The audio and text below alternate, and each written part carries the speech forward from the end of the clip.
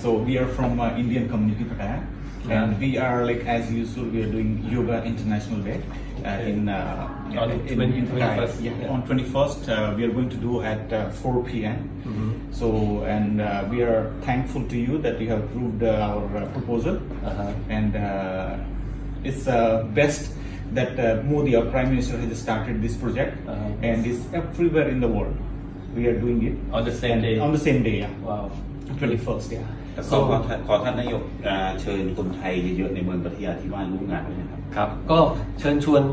เอ่อพี่น้องนะครับชาวพัทยาแล้วก็ผู้ที่ได้รับชมกันอยู่นะครับใน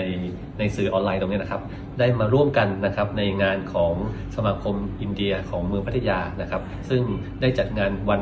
โยคะเดย์นะครับคือวันโยคะนานาชาตินะครับ ซึ่งจัดพร้อมกันเอ่อ ทั่วโลกเลยนะครับแต่ครั้งเนี้ยนะครับมาจัดอยู่ที่ลานบริหารที่เมืองพัทยาในวันที่ 21 มิถุนายนนะครับเริ่มต้นที่เวลา 16 นาฬิกานะครับหรือ 4 โมงเย็นนะครับก็ตรงนี้ก็จะเป็นส่วนที่สำคัญอย่างยิ่งที่จะทำให้เป็นสัญลักษณ์ของเมืองแห่งความมีสุขภาพที่ดีนะครับแล้วก็โยคะที่ถือว่าเป็นกีฬานะครับที่ทำให้ ได้ทั้งสุขภาพได้ถึงความได้ทั้งความยืดหยุ่นในตัวนะครับแล้วแล้วก็มีในส่วนของสมาธิด้วยนะครับ so I would like to invite everybody to join the uh, International Day of Yoga that's uh, please that set up by the uh, Prime Minister of India, uh, of uh, Mr. Modi. Mr. Modi Yeah. and also the สมาคมอินเดียสมาคมอินเดียใช่ครับสมาคมอินเดีย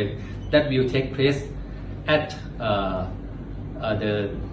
the Bali High Very high peer. the Bali- Bali High Pier on 21st of June of this month at 4 p.m. So please come and make yourself a good health that we are we are deserve our best quality of life in Pattaya City. Yeah. แล้วก็ท่านนายกเอ่อสมมติมีเวลานิดนึงนะฮะ ครับ ขอมาช่วยเอ่อร่วมร่วมงานด้วยเลย ครับครับ มาเปิดงานด้วยครับ Okay. Please come to uh, uh, inaugurate the event. alright ครับ โอเค โอเคครับ โอเค